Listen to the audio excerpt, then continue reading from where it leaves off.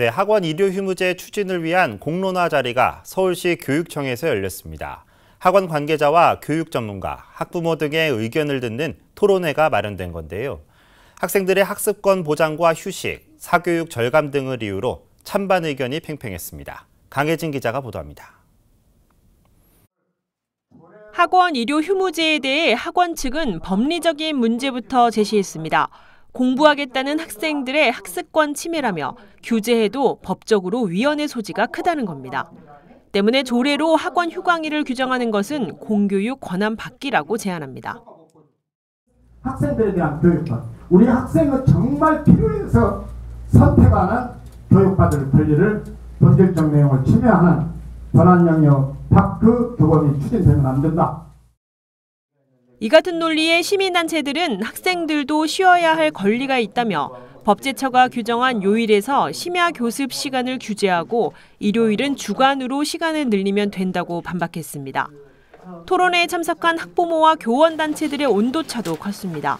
학부모들은 일요일 학원 가는 아이 때문에 가지 않는 아이들이 불안해한다며 규제가 필요하다고 주장합니다.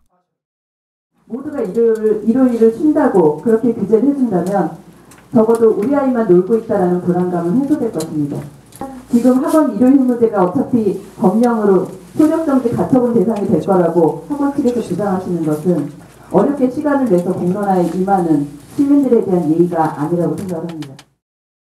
교사들의 의견도 다양했습니다. 현실적으로 학생들이 학원에 의존하다 보니 공교육 내실 다지기 자체가 어렵다고 설명합니다.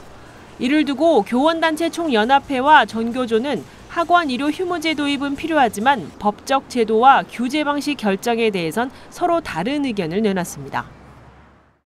교섭보다 더 나아간 요일 제한 경우 더 치열한 공방이 예상되기 때문에 이러한 쟁점과 관련된 신중한 검토와 고려가 요구되고 있는 상황입니다. 학원 일요 휴무제에 대한 휴식권 보장의 효과성 검증도 사실상 필요합니다. 학원이 학교 교육의 대체제로서 활용되고 있기 때문에 오히려 학교 교육을 약화시키고 있다고 봅니다. 어, 공교육기관인 학교는 주 5일 나가는데 학원은 지금으로 따지자면 주 7일을 운영하고 있는 거죠. 어, 사실상 무제한 교습이 가능한 상태입니다. 토론회 결과는 서울시 교육청 공론화 시민 참여단의 학습 자료로 활용됩니다.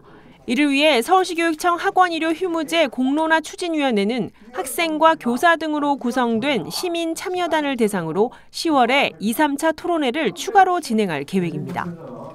티브로드 뉴스 강혜진입니다.